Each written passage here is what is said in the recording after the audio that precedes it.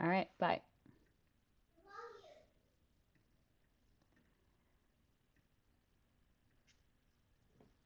Hello. My name is Anne, and just making sure everybody can hear me today. Um, I'm Anne Burke. My pronouns are she and her. I'm a librarian at the North Carolina State University Libraries. And today we're going to be doing a little sewing together. So, what are we going to sew? Um, Colin says, We can hear you. Awesome. Glad glad everything's coming through. So today we're gonna um, work on sewing a, a, throw pillow cover. So a few um, a number of years ago, I purchased. I had these pillow forms, like just you know, down down pillows, and I I bought these pillow covers for them. And you can't really. This one isn't nearly as bad as the other one but they are um, they've gotten very shabby, and I'm kind of tired of them. So I thought, well, maybe I'll make new ones. How difficult? How difficult can it really be? And it turns out like not that difficult. Um, the also really cool thing is even though even though these pillow covers um, were not expensive, maybe they were fifteen dollars each. Um, the uh, you can make them so much cheaper if, if you make them yourself. So I went out and I bought some fabric. Um, it looks like, well, here's my, here's my example. So it's uh, fun, kind of fun in an old lady kind of way. It's got strawberries and flowers and birds. And anyway, um, I found it on sale uh, for, it's an upholstery fabric, 15 $15 a yard. Um, so with that, I could make two pillowcases for $15. Um, which is half the price of the ones I, if I that I bought, and much much better quality fabric. Whatever I had, they had used for these other pillowcases, it just kind of pills and doesn't do nicely. So, and anyway, the zipper was sticking. Now, I am not a great sewer. I'm still learning. I've maybe been sewing like a year and a half. Um, so I had at first thought about doing zippers, and I was like, oh, I'm not at zippers yet. Um, maybe next year I'll do zippers. So uh, I'm going to take this pillow form out of the old pillowcase and throw that one out. And so here we have this. So materials we're going to need for today's um, for today's craft, I guess. Um, you have your your pillow insert. So I'm going to put that here. Pair of scissors. Um, I recommend getting a nice pair of fabric scissors and then hiding it from everybody in your house because uh, they um, they will kind of dull and become not useful if people start using them for cutting paper, chicken bones, pipe cleaners. So buy yourself a nice pair of fabric scissors or really any scissors and then protect them. Um, I've got pins, lots of pins. Um, obviously, I have my fabric. There's that. And I have a, um, this is not necessary, but this is a fabric marking pen. Um, it You can write on fabric with it, and then um, when you iron it, the ink disappears. So it helps you mark off what you were going to be doing and then um, hide any evidence that you ever marked. I have um, thread, a pretty neutral color. Um, this is this is honestly a much lighter weight thread than I normally would use with upholstery fabric, but anyway, it'll do. It did the first one just fine. So that is my thread and it'll blend nicely into the color of my fabric. And also, bear with me here, a ruler. So this is a nice ruler. It's you, you can see through it. Um, it has plenty of markings, and while some rulers are anti-slip, um, this one isn't. So you can see I had attached. You can get these like little um, sticky sticky dots. Um, so they're just a little bit tacky, and you um, and they'll kind of not, they'll keep the ruler from sliding around on your fabric as you go along. So um, you might have pillows at home and your pillows probably aren't my pillow size. Um, so the thing you want to do is measure your pillow. Um, so I'm going to do this for, for illustration's sake, but I already know this is a 20 inch pillow. Um, so here we go. Start it. Wait, that one, two, actually it's kind of, if I stretch it, it's 20, but it's like kind of 19. So your pillow, um, you know, puffs up. So actually from end to end, it's like, looks more like 15 inches. Um, but if you squash it out and flatten it, it's more like 19. Um, so what I did for the first one, because as you're sewing, you will have a seam allowance. I cut a 20 by 20 square of for my front fabric, um, which we'll do now. And then we'll have about a half inch seam on either side, which will make the exterior of the pillow closer to 19 inches. Um, if you make it smaller, the pillow will still fit in because it can kind of squish up. You'll just have like a poofier, puffier pillow. So the nice thing about this particular project is that there's a lot of forgiveness because the pillow is flexible. So we're going to take our fabric here and start measuring it out last time I did one of these Twitch streams, I pre-measured everything and the project went very smoothly because of that, but I didn't get around to it this time. So if you have a really busy pattern with a lot of things going on, you know, you might want to, um, you might want to pick an area that you want centered and featured on your pillow. Like maybe you quite like the strawberries. You might you might cut your fabric to make sure the strawberries were dead center in the pillow. That tends to be fairly wasteful of fabric, so I'm not going to do that. And I kind of like all bits of this fabric, so I don't mind what's kind of featured or centered. Um, you can also use like so many different things. Um, you know, I happen to buy this fabric, but I this uh, over the weekend I went to a, a thrift store um, I was donating some clothes, and after I was there, I was browsing around, and they had they had shower curtains, like and and curtains, like a rack of shower curtains and curtains, and they had one shower curtain that had like a really funky modern geometric pattern on it. It was like one of those kind of not like a not a nylon shower curtain, but you know like a heavyweight cotton, and you you know you'd have a, a liner inside of it, and I almost bought that to um, upcycle it as pillows. But I already had this, and honestly, I'm running out of room for textiles in my house. So I, I resisted.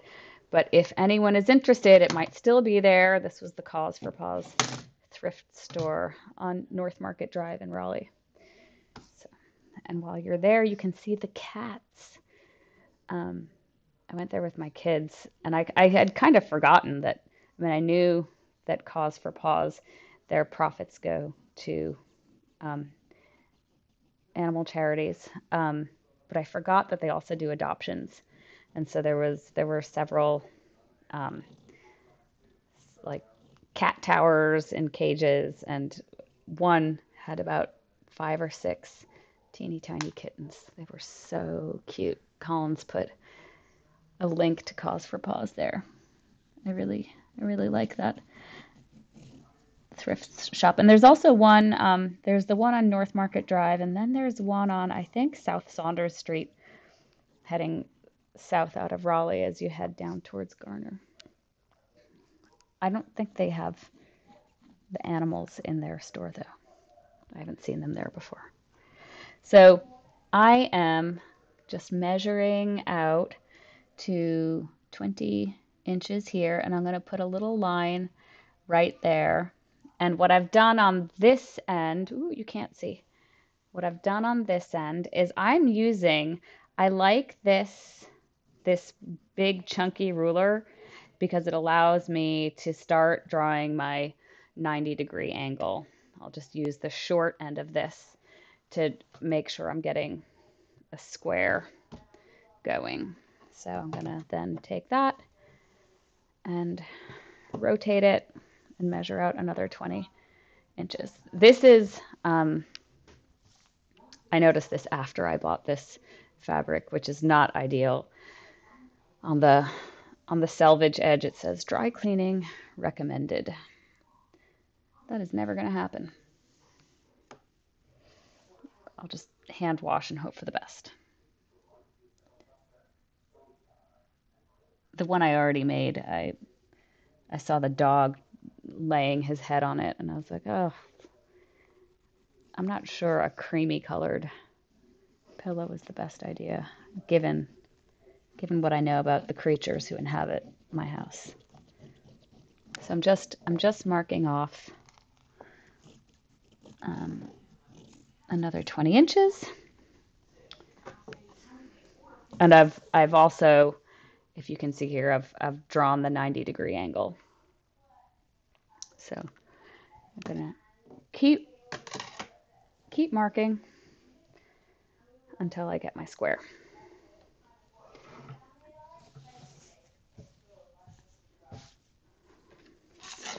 This this fabric I bought since I'm talking about my grubby dog.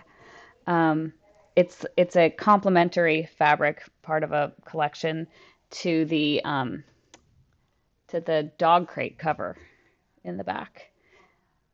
the The whole purpose of this was actually um, that this project started with the dog crate. Um, my dog has out outgrew his puppy crate, and then I had to get a bigger crate, and then I needed a new crate cover. So I got the fabric for that, and I was like, oh, but it's right next to the couch, so matching pillows would be fun. That is the dog behind me. Can you see? Whoops. He's sleeping. Let's, let's hope it stays that way. I like understand fully the the phrase let sleeping dogs lie. Don't don't wake it up. Cuz if I wake him up, he will be hungry. It's the world's hungriest dog. Acts like he's always starving. Um, and I'm just going to do the fourth edge here. And it's it's nice just to confirm that like my angles didn't go weird along the way. Um, that when I when I measure out the the last side, that it actually happens to line up to 20 inches exactly. So um, I got all the sides right length, all the angles right angles, and now I'm going to start cutting cutting out my the front of my pillow with my scissors. Um, if I had kind of more space and more flexibility, I'd use my mat and my rotary cutter. Um, I love this rotary cutter, so you can just, um, you know, press it down and just run it along, but I've, I've got too many things going on on the desk right now, so I'm not going to do that. I'm just going to use my fabric scissors. Snip, snip, snip.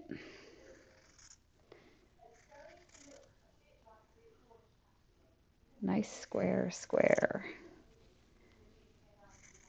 Um, I started I started sewing like a year and a half ago to help a colleague out with a workshop. And I was like, oh, that was fun. Maybe I'll maybe I'll sew a quilt.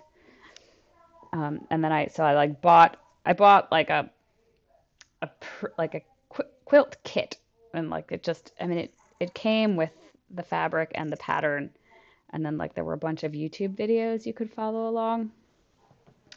Um, but you had to do all the measuring and the cutting and everything, which was I thought like a fun way to get started. Like I knew what it was supposed to look like in the end, and there was a video of someone explaining each step along the way. Um, and I did all of that one cutting cutting the pieces out with scissors because I hadn't gotten my rotary cutter yet. And it turns out like that was the most accurate of all the quilts I've ever made. So I do think It's slower and more time consuming, but I find my cuts are more accurate when I use scissors as opposed to the rotary cutter. The rotary cutter is kind of convenient because you can stack up, especially if you're cutting out multiple pieces of the same size and shape.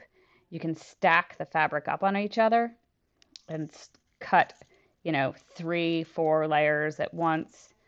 Um, but the fabric inevitably shifts beneath, you know, just a little bit. Imagine like you're using, you know, you use like a paper cutter at school and, um, you know, when you stack 10, 10 pieces of paper, inevitably there's some slide and slip and wiggle and they're never they're never all the same.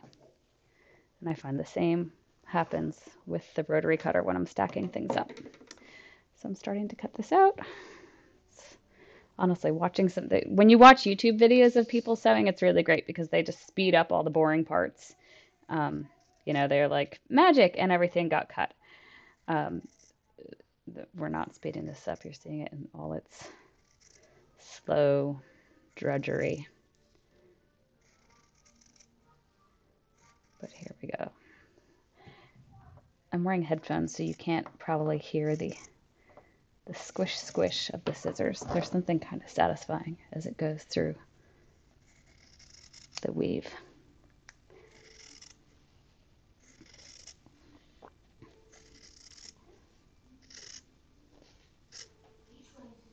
You know, I might go back and get that shower curtain. Who knows?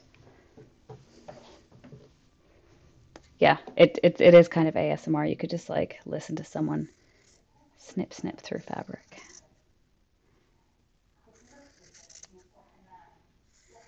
So we're gonna get this front cut out and then I'll show you the I'll show you my example pillow um, to show you the the style of pillow we're making because I'm not quite ready to tackle zippers. Um, we're doing what's called an envelope pillow. So the front is one full piece, and then the back opens like an envelope. And so the back will be two pieces joining to the back.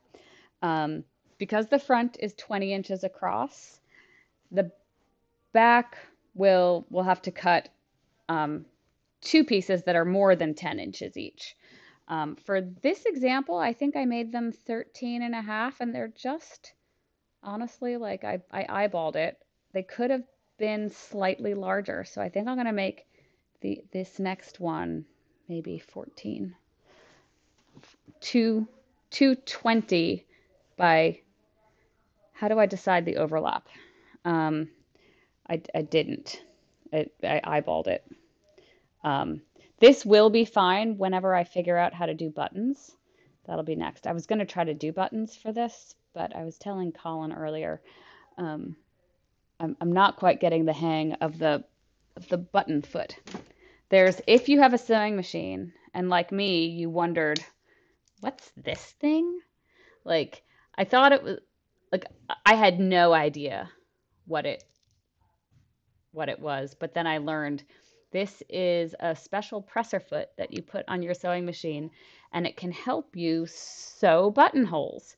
And the f- most fun thing about it is that to decide how big the buttonhole is, you get your button and you stick it in here, and then that guides the the buttonhole, um, the, like how long it sews the buttonhole based on the button that you place in it. So anyway, I had a little I had a little difficulty with that earlier. I have a few examples somewhere, but can't find them. All right. So anyway, that was my front we've cut out. Now we're going to do the back. And then you always wind up with these little scraps of fabric. So um, it's always great to have a wastebasket nearby. And I saw a, a trick um, I thought I had it around. Someone must have wandered off with it. The you you wind up with a lot of little fabric scraps, but also like a lot of little threads hanging off of you and like all over your workspace. So it's sometimes useful to have like um a clothing lint roller and you just roll it all over yourself and and your your workspace and it just picks up all those little little tiny stray threads. Here was the example button holes I did. Actually didn't turn out too badly, but anyway, um, not well enough that I'm willing to experiment right here with an audience of Colin and whoever else. so, all right, well, I've okay. Here's my 20 by 20. Now I'm gonna go for 20 by 14.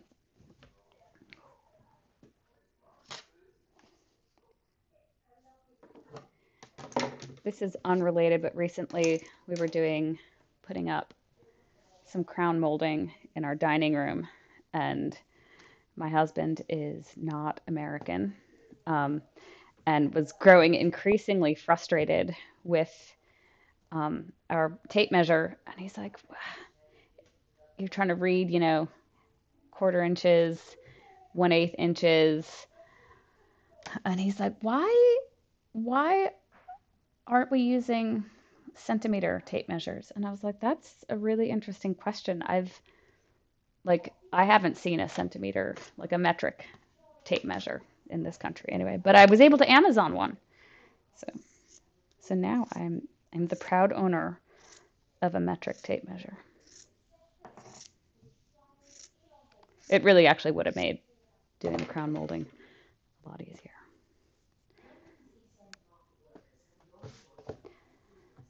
Um, all right, so I didn't have enough width in my in my previous piece to do 14, so I just cut off the the excess and I'm going to start measuring fresh.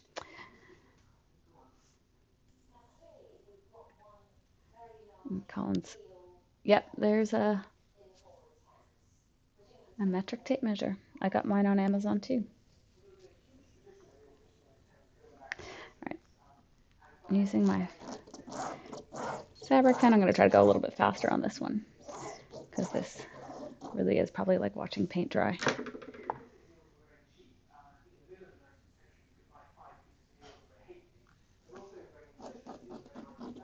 So hear it's going to rain today. And then, I don't know, in Raleigh, I, I saw the forecast something like 28 degrees later this week. And I thought that is uncalled for in April. I'm pretty worried about my my vegetables.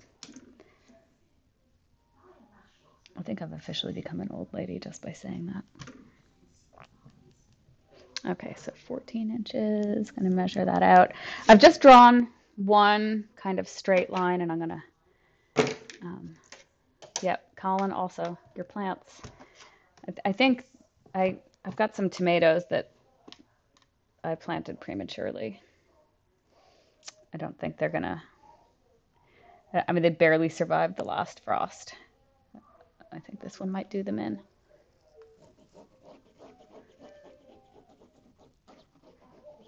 Snap peas, on the other hand. Yes, the beans. You put corn in. I've never done corn. I, I don't think we have quite enough space. Yeah, tw- uh, 29 tomorrow night. Beans, I think the beans will survive. Sugar snap peas, they're a lot of fun.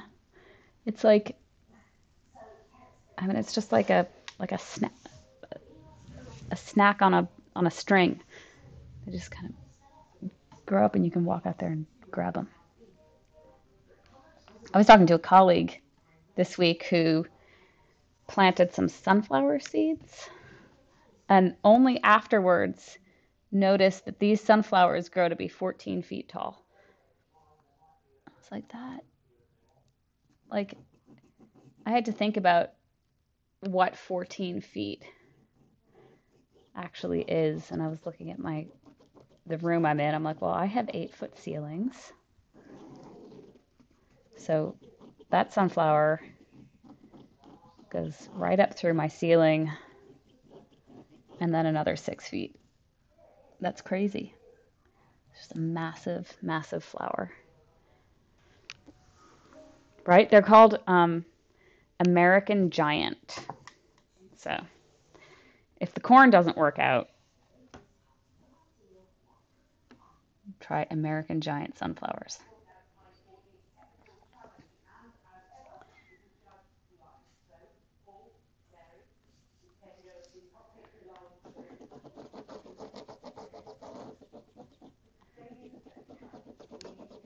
Soon we're going to get to the fun part. We're going to actually sew this. I promise. Recently, and this is unrelated, maybe someone can do a Twitch stream about this. Um, recently, I took my sewing machine. Well, not really took it apart, but I like I took off all the the plastic housing to clean it out and oil it, and it was so much fun.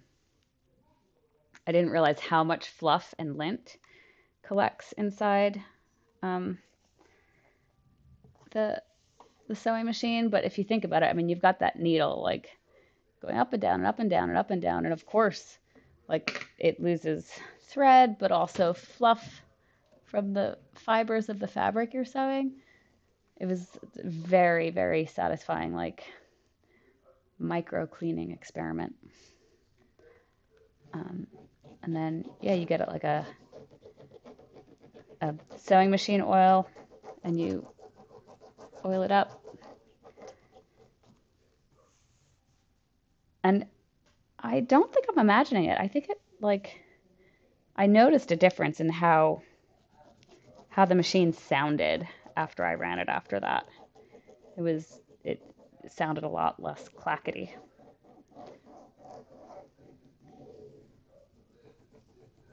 Oh, no kidding. Andrew from the library? I'd love to watch that.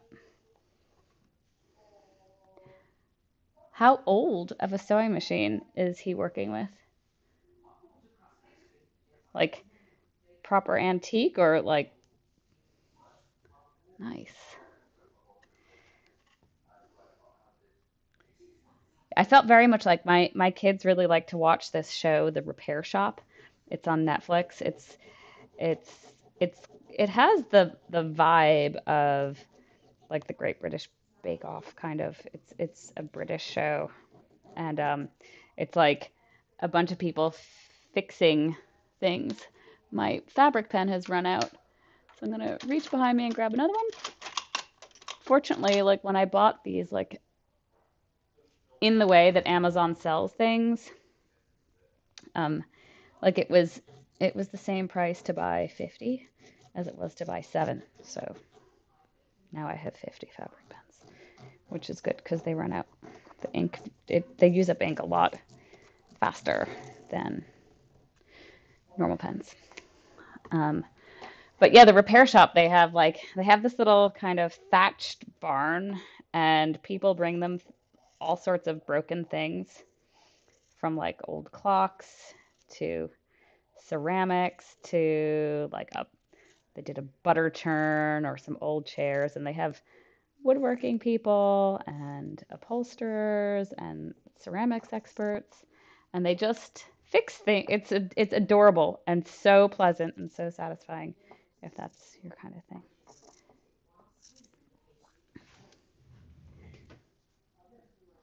But it definitely made me feel like, okay, I could I could open my sewing machine and put it back together and I think I could make sure it kept working. And it did.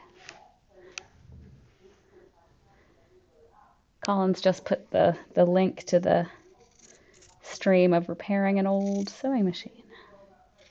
I'm going to definitely watch that one later.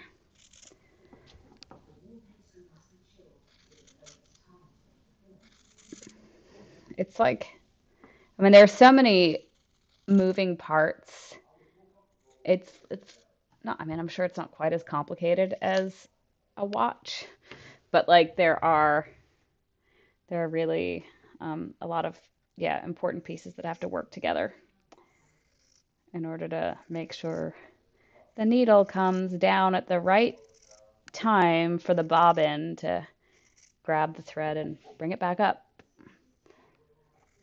So there's like a little, there's a little timing device down in there under the bobbin. Alan's dropped the link to the repair shop in.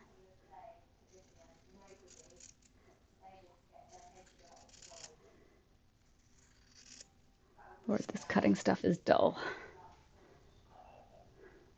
Ooh, really? Sewing machine's more complicated than a 3D printer. You know, I could probably see that. Even though if you explained that to like my grandfather, he would well, first of all, he wouldn't my my my grandfather was born in 1898 I think. He's not alive anymore. But um, had you told him, honestly, like if you told him there was a printer, much less a 3D printer, he would have just not believed you. My my family has absurdly long familial generations.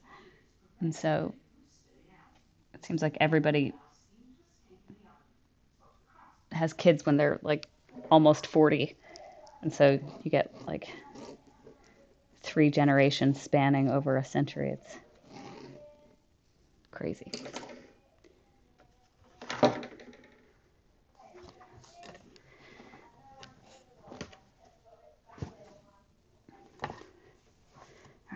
Swear I'm almost done here. Yeah, then we get to the next most exciting part of this, which is ironing. Um, another important tool in your in your arsenal is your iron. Um,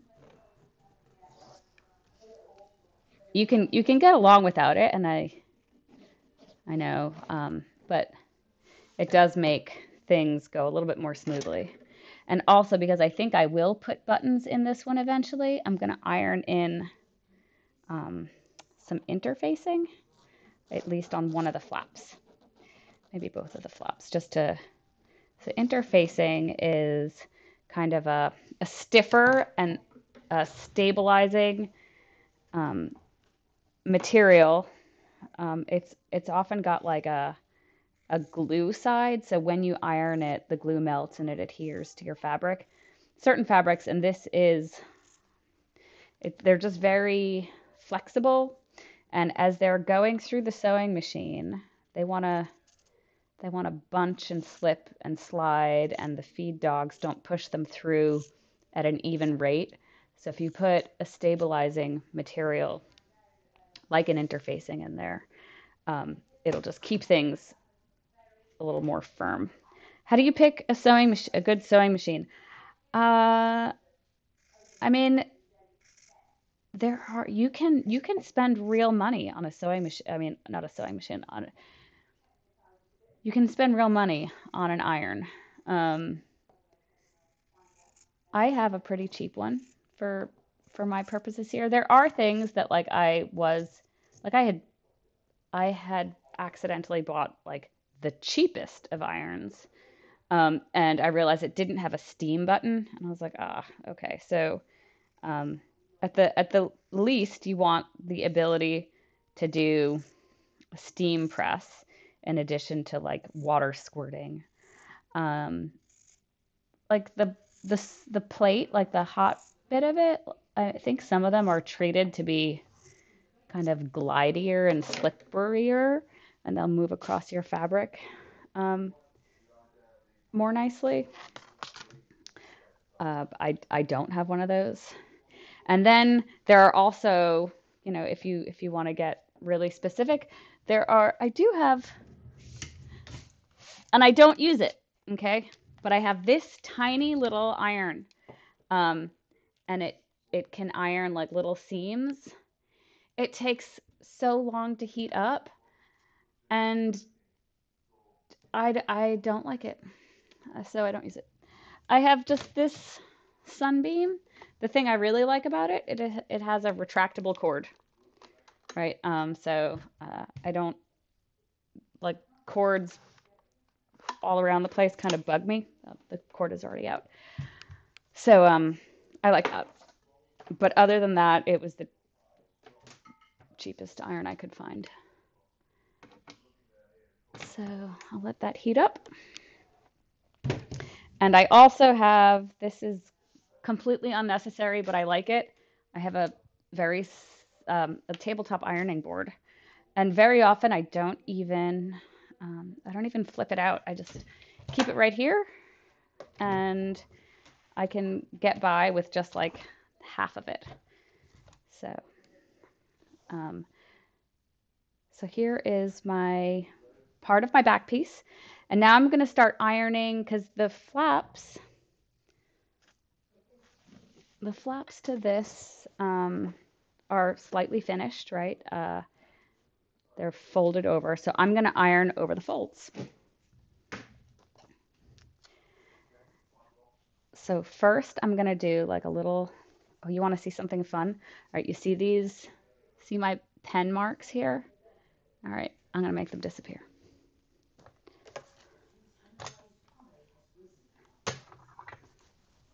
Just like that, gone.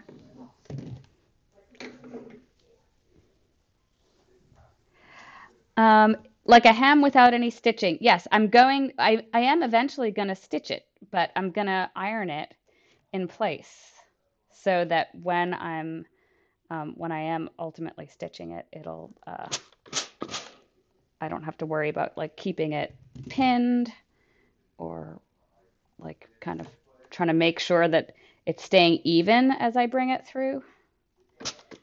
So. Oh, no, who who knows about fabric? I mean, like it's not the kind of thing that you're born knowing, um, and you certainly learn by playing with it. So i I'm gonna so um, iron over about a quarter inch, and then fold that once more, probably one more inch. And next I'm going to iron in the stabilizer into this part. So I'm going to get this folded over so I know. Who knows about fabric? Okay, yeah, there are some people who maybe run an entire college who know about fabric. It's true. There is there's a surprising amount to know. It's just just amazing how how like almost all of us wear fabric every day. And they don't even really think much about it. So this is um, this is actually probably like not the most ideal interfacing for this. It's really thin. There are different weights of, of interfacing and you can't you can't really see it. Um, this side is slippery smooth and this side is bumpy and basically it's been sprayed with a fine mist of glue and when I iron it, that glue is going to melt and it's going to stick to the inside. So I'm just going to kind of cut this out pretty roughly. Nobody's going to see it. It's going to be on the inside, but it's going to add a little extra um, support for when I am eventually brave enough to try to sew buttonholes into this thing. So sorry. We're going to see this whole process and not see the exciting outcome. Who knows? Like maybe maybe in a few weeks I'll just do a really short Twitch stream once I've figured out figured out the buttons.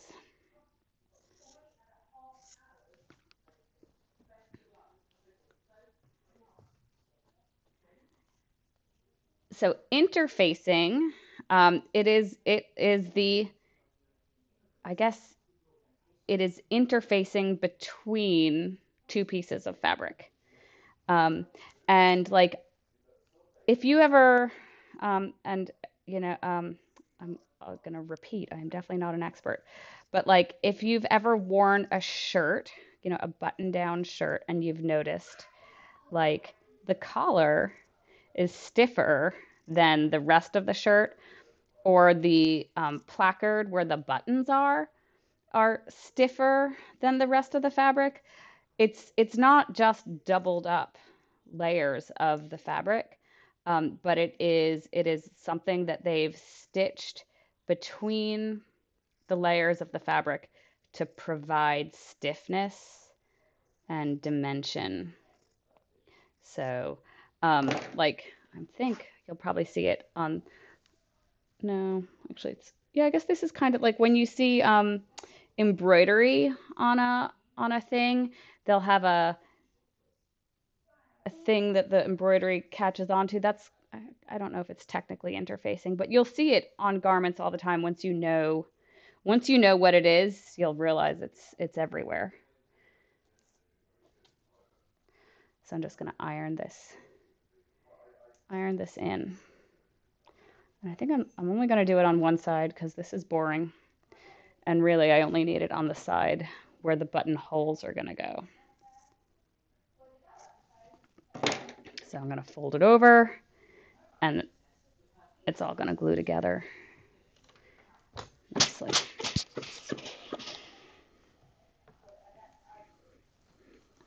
There are other, um, I, I recently bought like an iron-on tape and you can like, you can do hems just by ironing basically something like this, like a, a heat, a heat reactive tape and it can do like a no-sew hem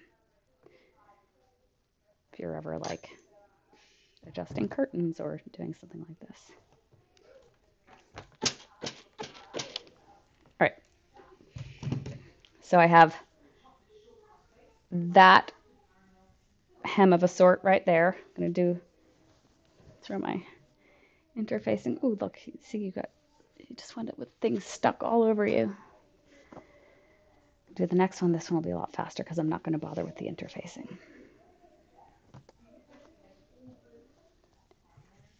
And the reason you don't just, here, I'm going to show you.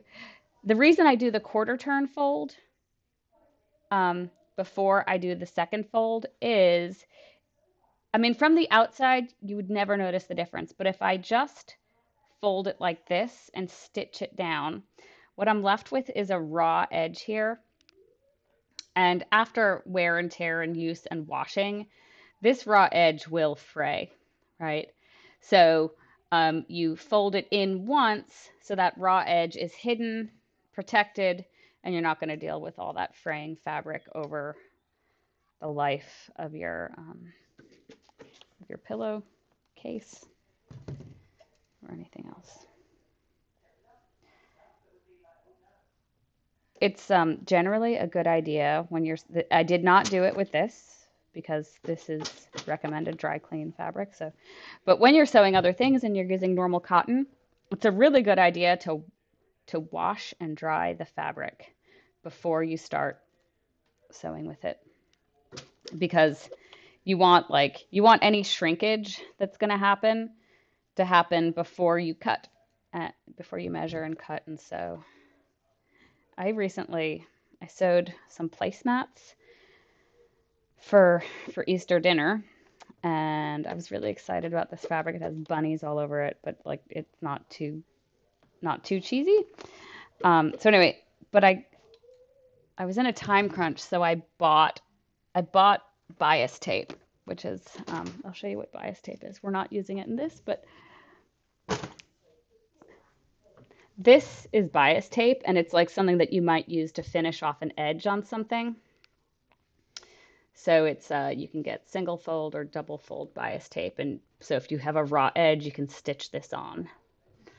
Um, but I didn't I didn't think about this. The bias tape was not pre-washed and dried. So when I washed and dried one single placemat, I was like, oh Lord, the bias tape shrunk but my placemat had already been pre-washed. That was sad. So I'm just going to be really careful. Okay, so now, oh, this is the fun part. We're getting to the sewing machine. Let's start clearing off the space. I think I I unplugged my sewing machine, but not my iron. Here we go. All right, so remember the button foot, not using that. But I had been playing around with it, so I have to put my normal foot back on. This is a presser foot. Um, let me just line, sorry, the camera angle up so you can see. Here we go. Okay, so there's a little there's a little lever at the back here. You can raise and get that presser foot on. Uh, sewing machines have a little light that comes on, help you see what you're doing. Some lights are better than others. This one's not great. And then as you're threading your machine, it um, there's usually like a guide here. You know, you loop it around the top first, then through this thing that adjusts tension, and you bring it around here. This is like there's a word for this, the arm that runs up and down. Go down here, loop it around here. And then this sewing machine has a, uh, does have an automatic needle threader. I've never found it to be any easier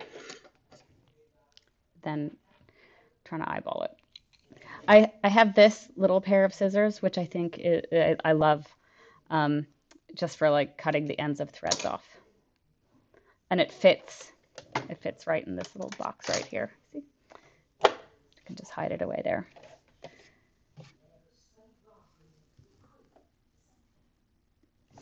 It took me, I, I like didn't even know that that box flipped out until like after a few weeks of using this. I was like, what is this? Oh, there's a, there's a whole like little kit of supplies in there. All right. So I am going to start sewing the edges down just to make it, I mean, you could, you could technically get away with just doing one stitch, but I'm going to do, I'm going to do two at my quarter inch fold and one out towards the edge. So this could get noisy. Um, oh no, I was doing something else earlier, so I had fiddled with my tension. Um, tension i'm i like understand tension only slightly more than i understand the settings on like a dslr camera um, but my understanding of sewing machine tension is that it is like it it determines how much the top thread and how much the bottom thread pull against each other. So that if you um, if your tension is all wrong you could actually kind of wind up with like on one side a pretty straight line of thread and then from the other end all that thread is doing the work coming through and looping around. I didn't explain that very well at all. Um, but just understand that like yeah tension problems can be big problems in sewing. Um, so I've sewn forward a few stitches and now I'm going to sew backwards just a couple of stitches like two or three.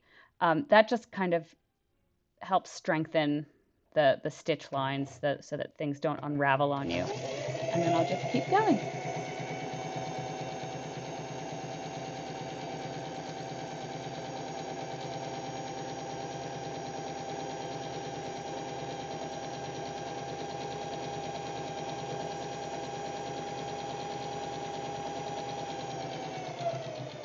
and then I'm going to get to the end and I'm going to backstitch again. Uh, different machines backstitch different ways, but in order to backstitch here, I push down this lever. It says reverse, and then I'm done um, with that line. Now I could cut this thread off, but since I'm running down again, I'm not going to bother. It saves thread. Um, it, actually, over time, a decent amount of thread if you can manage to, um, in some like they might you might call this chain piecing especially if you were sewing multiple pieces together you um because if you cut your if you cut your thread too short the next time this lever arm runs up it'll pull your thread back through your needle eye so you need to leave the tail either a little bit long or manage not to cut it at all some people keep like a just a little scrap piece of fabric to run through just two or three stitches um, before they bring on the next piece. I can show you that in just a second.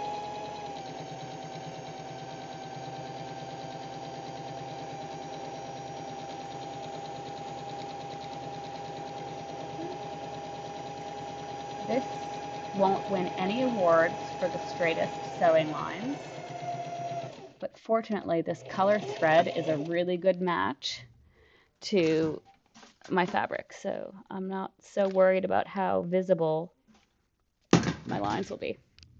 So if you have just like a, an, um, yeah, if you have just a scrap piece, what you can do is lift that there. Now you've kind of locked your thread in a little bit, so you're not going to lose it. You can sever the piece you were cutting and you won't lose your thread going back through. Just going to cut off the ends here. I'm going to do one more line.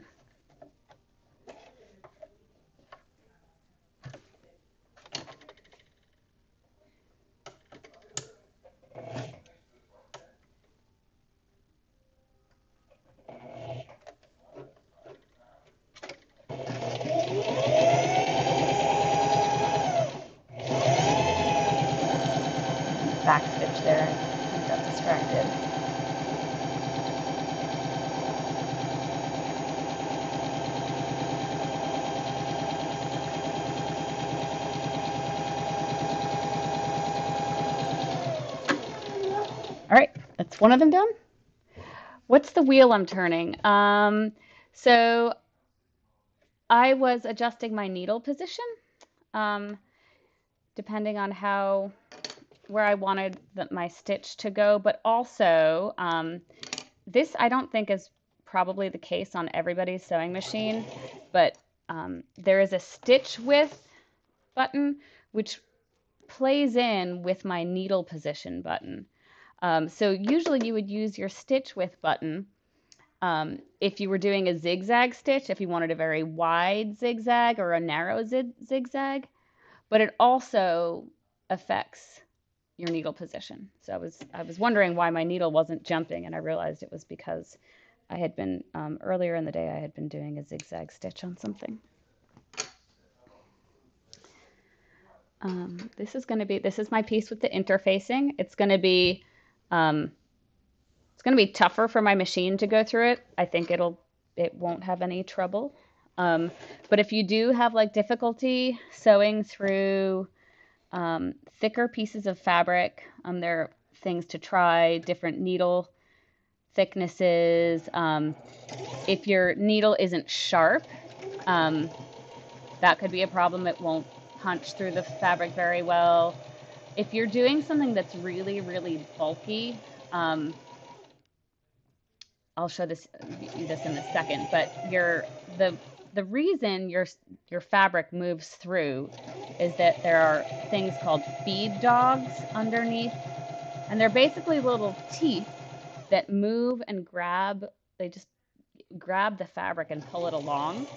But if you're dealing with something really, really bulky or fabric that shifts pretty easily. Then the feed dog will grab the bottom of the fabric, but not the top. So there's a special kind of um, foot. It's called a walking foot that has feed dogs on the top. Um, so down here, it's kind of hard to see, but down here underneath, there are these little teeth that go up and down and up and down, and they're they just move your fabric forward. Um, and there is um, there's a little button on the back of my machine and on most machines. You can actually retract the feed dogs altogether. There will be some some kinds of sewing, like if you want to do free motion quilting where you see like someone moves the fabric around in a fluid pattern underneath the, the moving needle. Um, you definitely don't want the feed dogs in action at that for that so you can you can you can retract them. Um, and then if you're me the next time you come to your machine you forget that you retracted the feed dogs. And you wonder why your fabric isn't moving and why you're just stitching in one place. And then and then you remember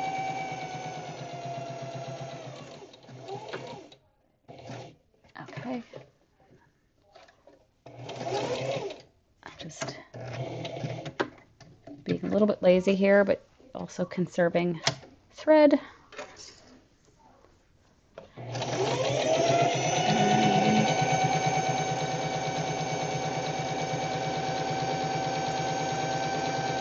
We're almost getting to the fun bit where we get to put it all together.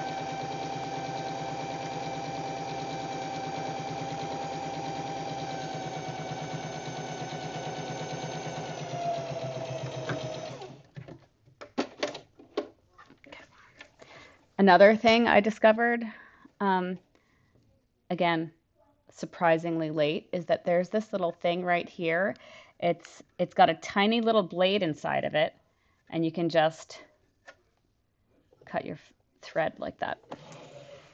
I mean, more modern digital machines have like an automatic thread cutter, and it just makes a little whoosh, and it cuts your thread for you. But not this one. All right, so totally different from dog feeding. Yes, feed dogs and feeding dogs different. All right, so I have my two back pieces. One, two, and my one front piece. That's not it. This is not a square. Where's my front piece? That's not it either. You all saw me cut it, so we know. Okay, here it is. This is a square, see? 20 by 20. So what I'm going to do is put them together. And um, you'll hear when people talk about sewing, um, when you're putting things together, they say right sides together, you know, so the side with the printing is the right side. Um, it's not right left, but kind of correct. This is interesting. Well, anyway, we're going to have, it doesn't matter. Um, you, oh, no, thank goodness I didn't cut the, that side. So I'm going to put right sides together and line it up. And I'm just gonna, I'm gonna pin around just so everything stays in place. Can never have too many pins.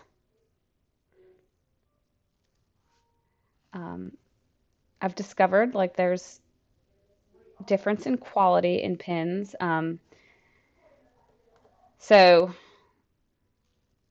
if you're if you're buying pins, often you want to look for ones that have what are called glass heads.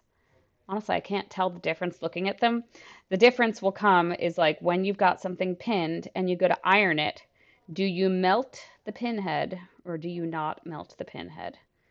So um, the glass ones, obviously, unless you have a really crazy iron, um, won't melt, but you'll melt the plastic pinhead. Um, and then the other thing is, um, you know, the the finer the pin needle, um, the less damage it'll do to the fabric as you push it in and out of your fabric. And in a fabric like this, this is a really wide weave. I'm not I'm not super worried about damaging it. But if you're working with like a silk or a nylon or something, you really could um, pull a thread pretty easily or a, a hole would show up pretty obviously. So slimmer pins, better in that case. Um, I'm just trying to think here. On the last one I did, it didn't matter which way the overlap went. But in this case, because I am planning on doing buttons, I want the side that has my interfacing, and I can tell because it's stiffer. I want that to be on the outside because that's where the button hole will be. So I'm going to make sure that it is underneath the other piece. This has a much more, this is just going to be comical. It'll be fine, but a much more significant overlap than my last one. I won't even be able to do buttons on this. I really should have. But I won't need to do buttons, is the other thing, because the overlap will be very generous. All right, live and learn. So someone told me something interesting recently. I'm not I didn't research it or I didn't like yeah, I haven't figured it out fully, but these like universal tomato pincushion holders um the it has the it has the tomato for the pins and then this strawberry thing that hangs off on top. And um, and this feels different. Like it's sandy inside, whereas this is like cottony inside. Um, so someone told me, and I, like I said, I have yet to confirm it. Like this is filled with maybe a kind of a graphite powder for sharpening your pins. I'm not sure how you do it. Like, do you put your pin in and twist it? Does that sharpen the pin head? Anyway, um, or the pin point. Anyway, if anyone wants to Google it and confirm. But anyway, I am pinning around the edges.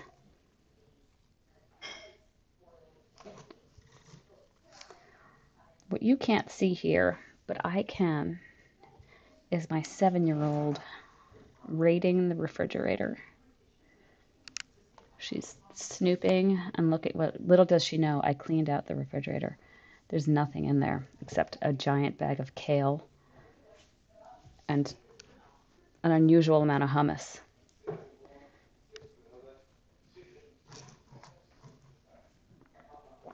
All right, Colin's found how to sharpen pins. I'll read that later. Okay, now this is going to be super fast. The end of it is just, it's going to come together so quickly you won't even believe it.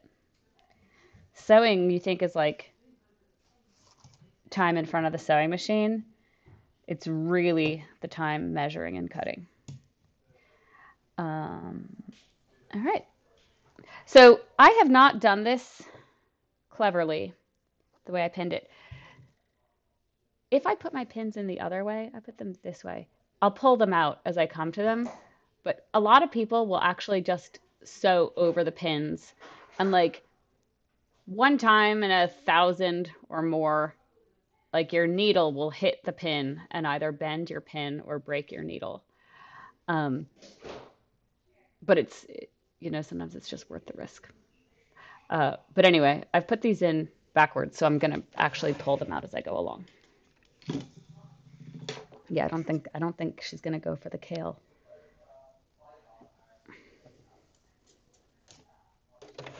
All right, so we're back at the machine.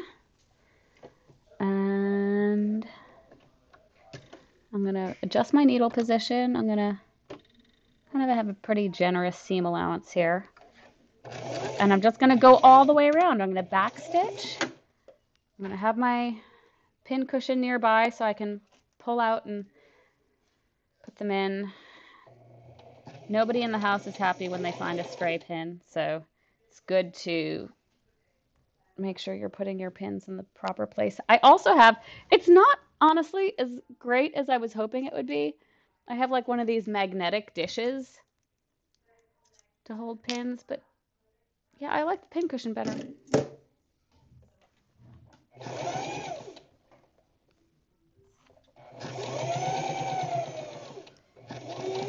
Go all the way around.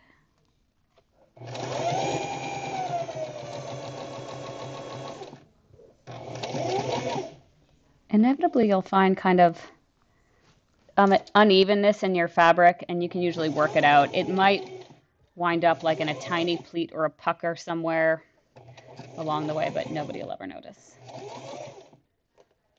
This fabric is is wavy too. It like wants to wants to move.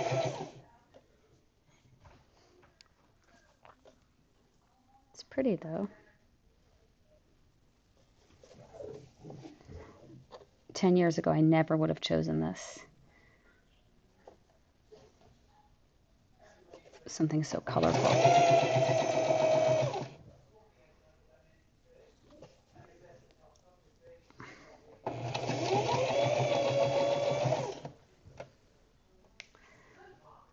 Pull as you go.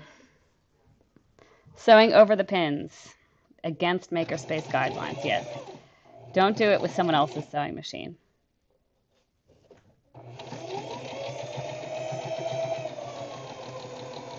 I have a lot of bent pins as a result.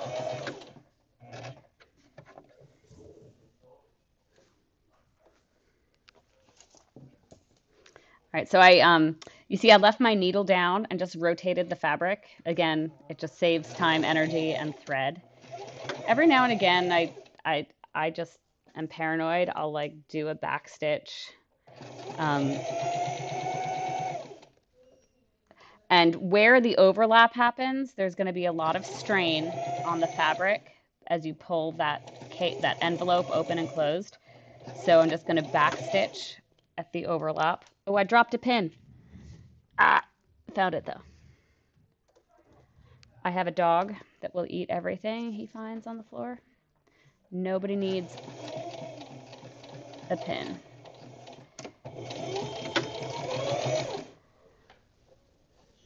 Not so fun story. This dog ate an entire corn cob recently in two bites.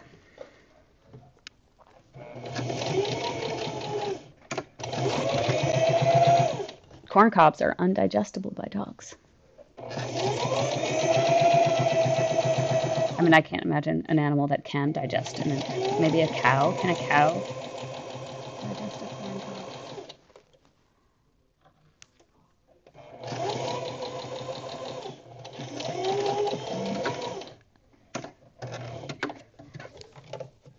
Leave the pin down, turn it 90 degrees the corn cob had consequence. I mean, it was. Um, for, I mean, fortunately, unfortunately, the consequences were largely financial. He had a couple of visits to the emergency vet. Mm-hmm.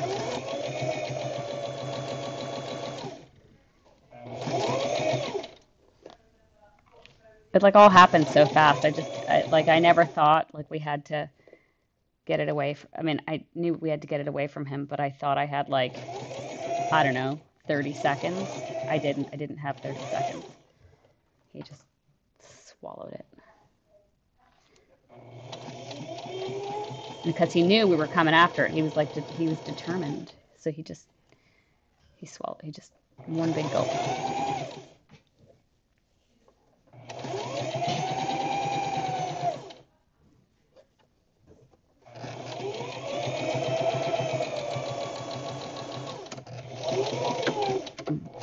Stitching again at the corner where it needs just a maybe a little extra strength.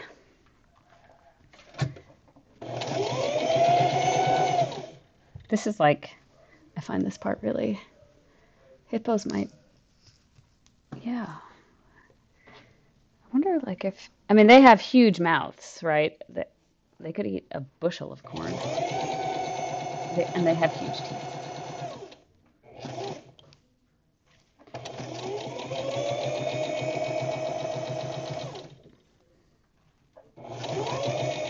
So I can feel I'm going over the spot where it overlaps. I'm going to back stitch to provide some extra strength. Ooh, I have a little long thread here. Snip.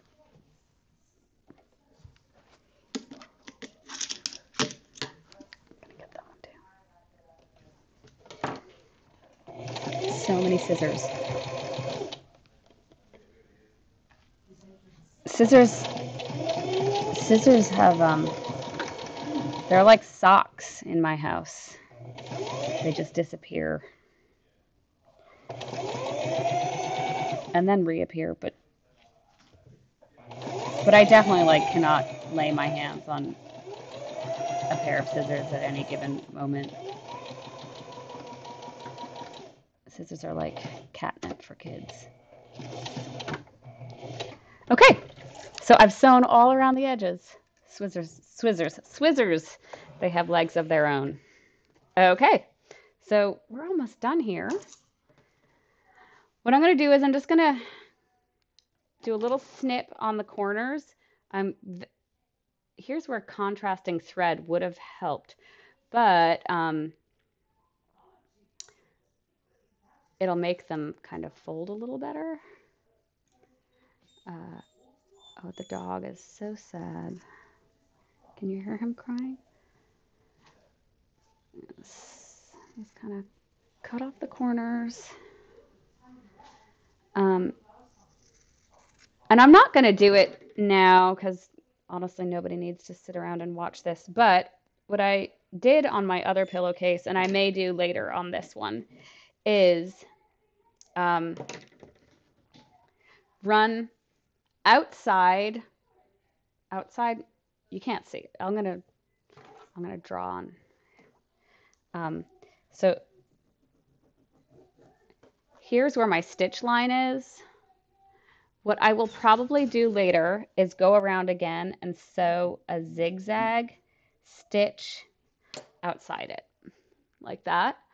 Um, and what that will do is just keep keep the inside seam from fraying.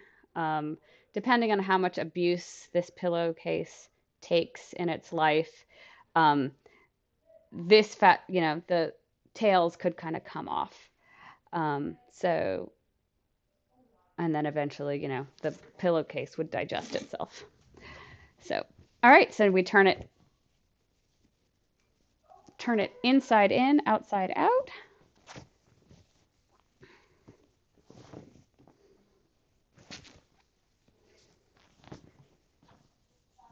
And we've got that. And I'm going to get my pillow form.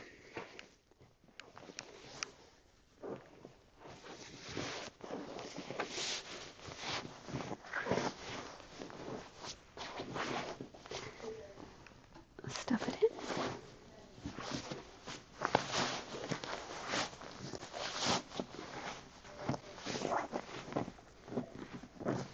Yeah, this this more generous overlap works a lot better.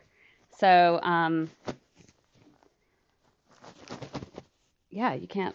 There's no there's no bursting out. But yeah. Um, oh, and look at that. It's all it's kind of coincidence. I didn't plan for it, but the bird is dead center. No need for buttons. Yeah, so take a nap. I don't know.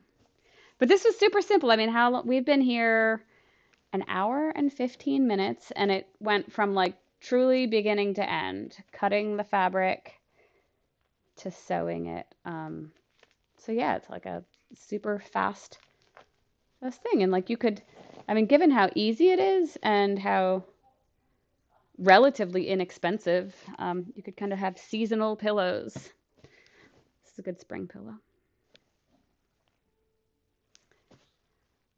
Are there any questions?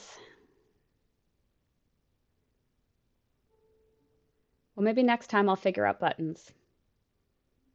And uh, we'll do that. Oh, goodness. There goes the dog. All right. Well, thank you all so much for joining me today. Um, and I, uh, I'll see you all again. Bye.